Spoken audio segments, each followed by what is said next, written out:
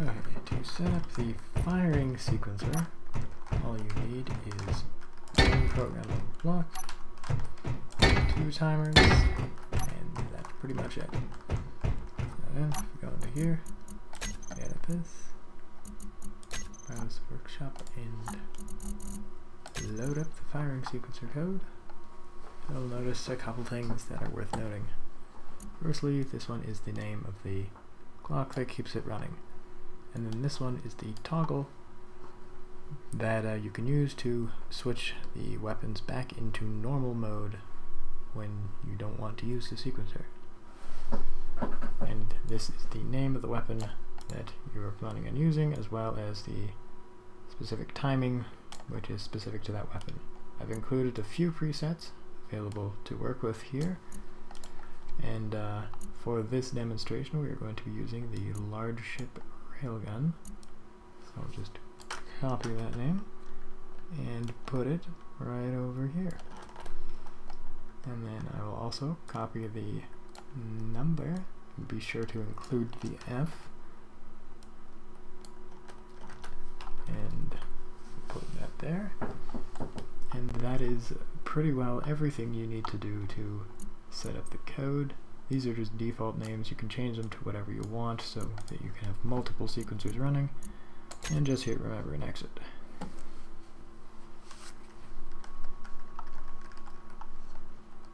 And then wait for the thing to freeze, apparently.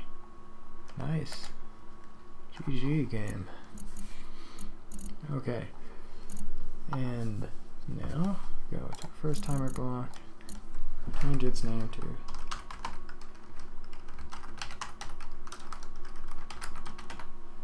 sequencer block, and the other one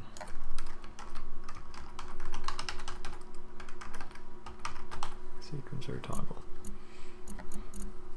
Now if we go into sequencer clock, set up the actions, this just goes to the program block and runs it the code with no argument whatsoever.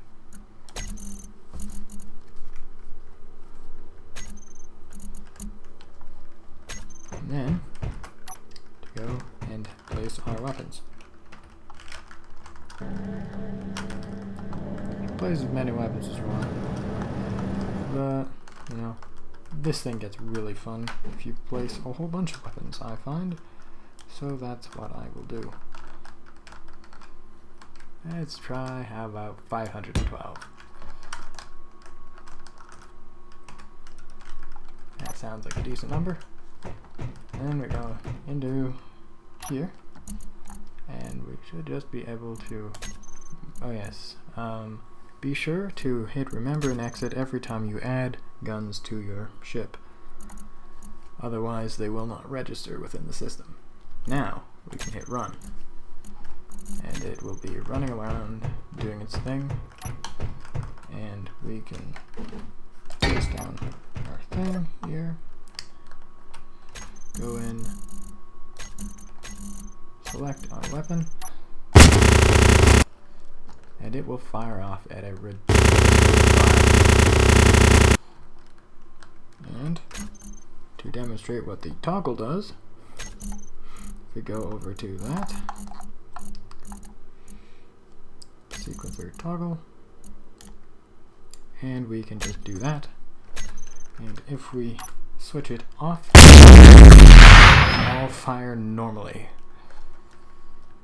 And then we can just switch that back on. Of course, we have to wait for all the weapons to reload, which is why I invented this thing in the first place. That's pretty well everything there is to know about how to use the firing sequencer.